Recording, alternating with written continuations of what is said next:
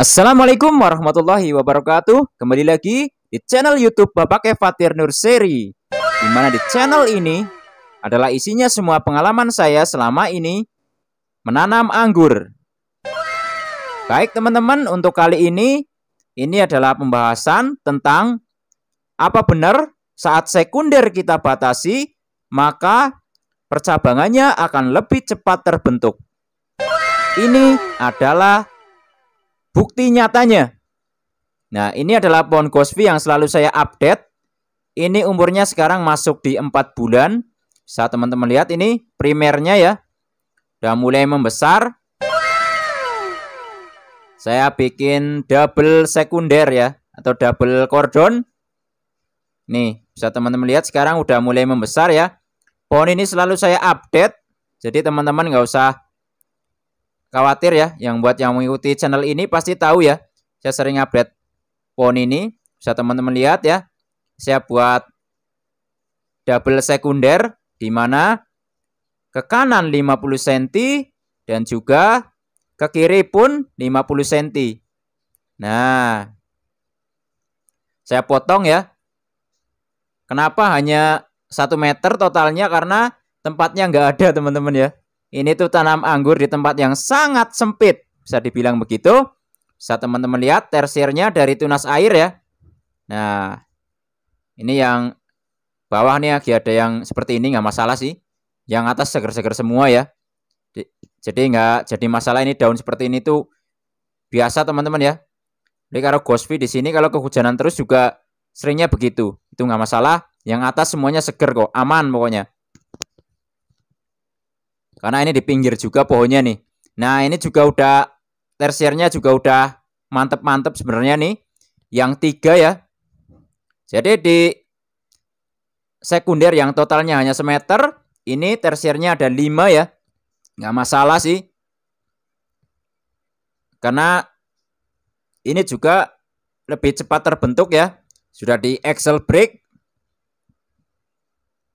Setiap tersier yang sudah nyampe atas ya, selalu saya batasi untuk memberikan kesempatan pada tersier-tersier yang lain ini agar cepat nyusul ya. Ini pun sama nanti di Excel break sehingga nanti yang paling bontot hanya ini satu. Ini juga pucuknya aktif jadi saya yakin ini bisa cepat nyusul dan bisa dilakukan pruning bersama-sama. Nah, kalau tempat segini tersiernya 5 ini nggak jadi masalah teman-teman ya. Minim kan kita udah dapat 5 sampai 10 dompol lah. Insya Allah ya teman-teman ya. Nah, teman-teman lihat di sini saat sekunder dibatasi, nutrisinya akan lari ke cabang primer ya. Cabang primer akan membesar, sekundernya pun akan membesar, kemudian tersiernya pun akan cepat terbentuk. Ini pemupukan di fase ini ini banyak pilihan teman-teman bisa silahkan mau pakai apa aja bisa ya.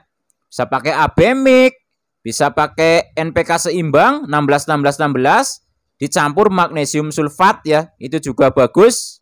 Sama aja sih teman-teman ya. Kalau mau Abemik ya tinggal tiap hari atau dua hari sekali ya.